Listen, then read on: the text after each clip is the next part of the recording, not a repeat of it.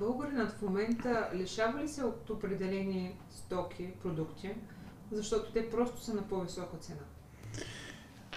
Имаме такива наблюдения. Тъжна е тази констатация, но да, той се лишава от много от продуктите, с които е свикнал. Сами разбираме, че ако вие разполагате с един определен бюджет, да кажем 50 лева, няма как да си купите неща за 60, 70 или дори 100 лева. Тоест трябва да влезете в някакви ограничения, предварително зададени от това с какво разполага едно българско домакинство.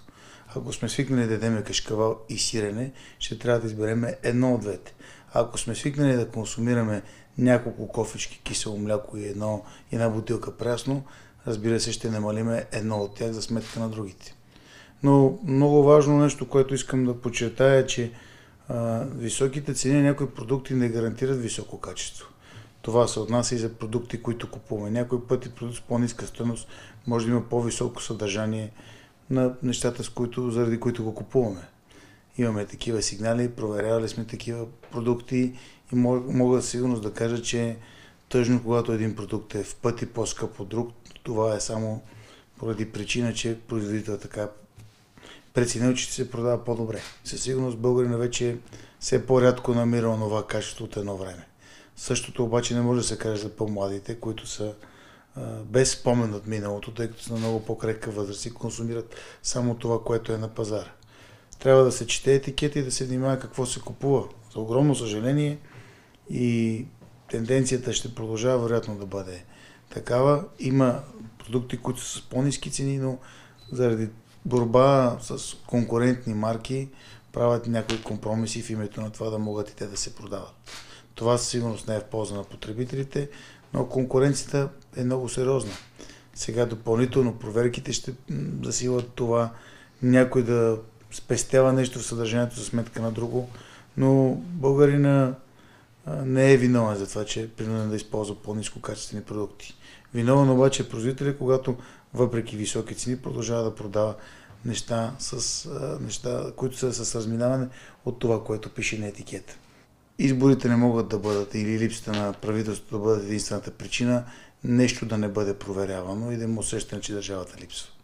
Но да, с едно изречение ще отговоря, вижда се резултат и се вижда, че много хора се радват, че веригите са проверявани, че магазините са проверявани и че действително това, което прави впечатление от късъчни постове във Фейсбук на определени потребители, например, купуваш един артикул за 2 лева на етикета, когато отидеш на каста, той е с поне 40 стотинки отгоре, бива забелязан от органите и такива са констатациите на органите, които вече съставиха своите актове на редица представители на веригите.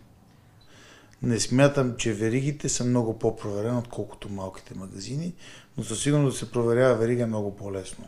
Най-вече, защото там има всички продукти на едно място, а и защото български потребител много пред, повече предпочита големите вериги, защото са голяма част от тях на удобни локации и имат достатъчно добре обявени кампании и за промоциите, и за продукти, които предлагат.